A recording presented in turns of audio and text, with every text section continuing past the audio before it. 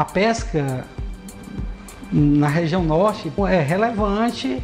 Nós temos um parque industrial grande e ao mesmo tempo ocioso, né? Porque durante esses últimos anos muita coisa aconteceu, empresas fecharam, mas a pesca para toda a região amazônica ela é muito forte.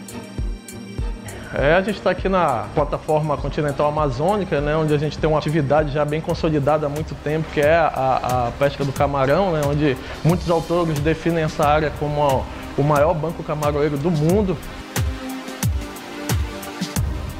O cenário da pesca aqui na região norte, ele é bastante difuso. Difuso do ponto de vista de que ele é extremamente complexo, porque você tem diferentes tipos de embarcações, muitos portos, né? Em cada parte que tem uma, uma, uma beiradinha é um porto, vira um porto, né? E muitas pessoas envolvidas. E essa quantidade de pessoas envolvidas a gente nem consegue mensurar. Nós temos vários ecossistemas diferentes, né? Numa mesma região.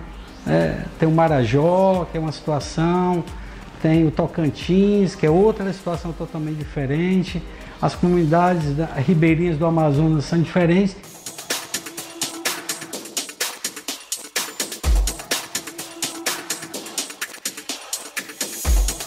Se você acompanhar o que aconteceu no final do século passado e o que nós estamos agora em 2019, houve pouca variação, pouco, é, poucas melhorias, porque não houve uma necessidade exata de você melhorar o equipamento de pesca, né? porque a pescaria aqui ainda você consegue tirar muita coisa.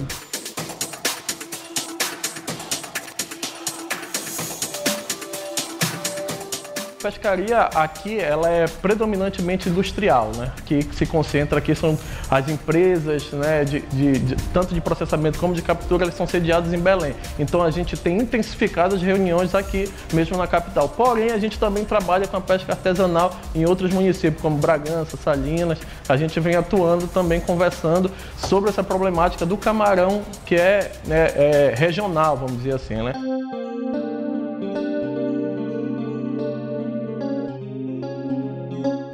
Pescador, quando nós chegamos, eles acham que nós queremos que pare-se de pescar, né? Pra, acho que a gente só vai resolver o problema e para pescar. Então tem que ter uma conversa muito grande com os pescadores e demonstrar para eles que a gente está querendo fazer uma coisa justamente diferente. A gente está querendo melhorar a pescaria.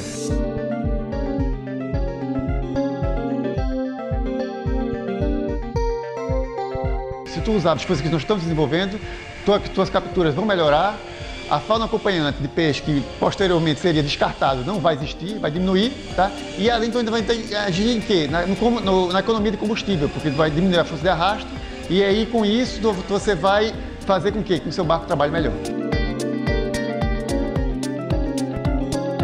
tem uma experiência que foi feita em uma embarcação onde a gente teve 27 arrastes com a malha quadrada, feito pelo, pelos próprios pescadores, né? E assim, quando a gente chegou, a gente veio pegar o material e também conversar com essa tripulação e a aceitação foi muito boa.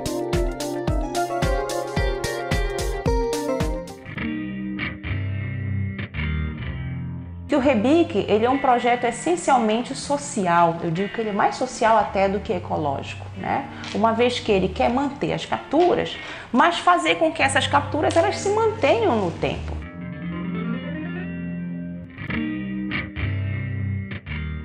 Que é exatamente essa história da, da gestão compartilhada, né?